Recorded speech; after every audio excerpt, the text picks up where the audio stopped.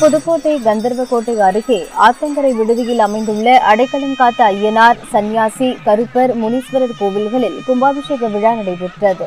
பதினெட்டு கிராமங்களைச் சேர்ந்த பக்தர்கள் பூத்தட்டு முளைப்பாறு எடுத்து வந்து கூட்டு வழிபாடு நடத்தினர்.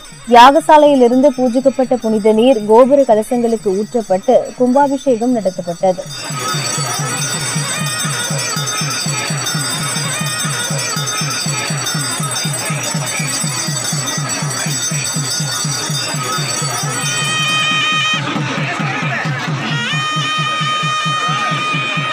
பின் சுவாமிகளுக்கு சிறப்பு பூஜைகள் செய்யப்பட்டன. இதில் திரளான பக்தர்கள் பங்கேற்று சுவாமி தரிசனம் செய்தனர்.